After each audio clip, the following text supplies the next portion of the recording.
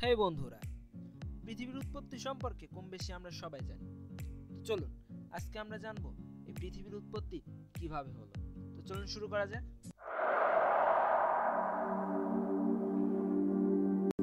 সৌরজগৎ সৃষ্টি মোটামুটি একশত মিলিয়ন বছর পর একগুচ্ছ সংঘর্ষের ফল হলো পৃথিবী।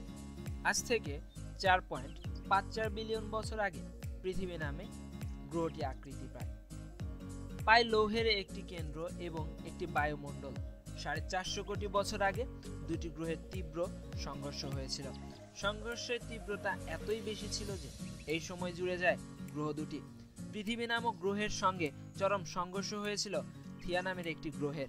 সংঘর্ষের সময় পৃথিবীর বয়স ছিল দশ কোটি বছর।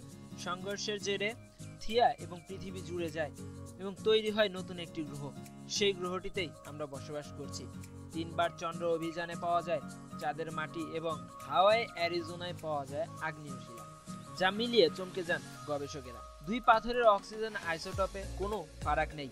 গবেষকদের প্রধান অধ্যাপক এডওয়ার্ড ইয়াং এর কথায়, চাঁদের মাটি আর পৃথিবীর মাটি অক্সিজেন আইসোটপে কোনো পার্থক্য পাওয়া যায়নি।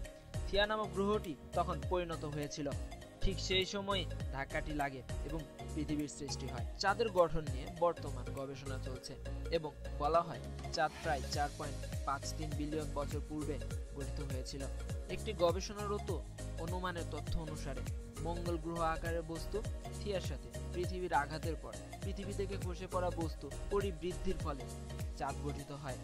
এই ঘটনা থেকে বলা হয়ে থাকে যে, থিয়া গ্রহের ভর ছিল পৃথিবীর ভরের প্রায় দশ ভাগ, যা পৃথিবীকে আঘাত করে কৌণিকভাবে। আঘাতের পর এটির কিছু ভর পৃথিবীর সাথে বিলীন হয়ে যায়।